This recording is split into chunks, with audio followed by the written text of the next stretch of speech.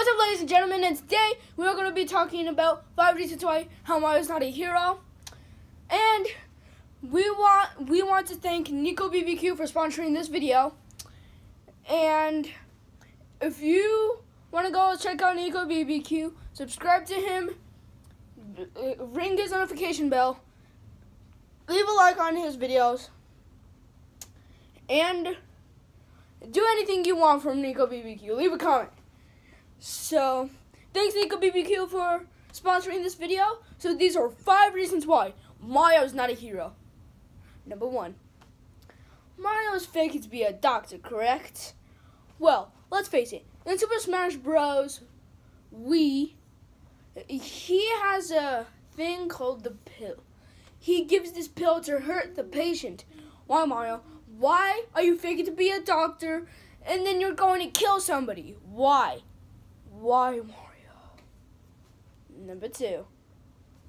If you see Bowser, if you see Bowser, he's an adult and you're an adult, right? Well, you two should just talk it out. Hey, Mario, hey Bowser, what do you need? What do you want this for? What do you need this?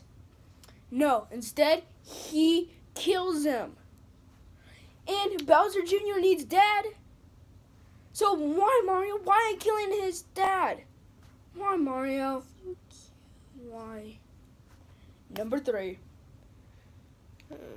I know Bowser Jr. is somehow a little brat, but he has a really good clown car, and you should teach him not to do that. But no, he decides to crush his dreams. That's how you know that Mario's not a hero. Number five. Mario is kind of a jerk. Because in Super Smash Bros. Yes, I'm bringing Super Smash Bros. up one more time. In Super Smash Bros. You get to battle your brother and all that.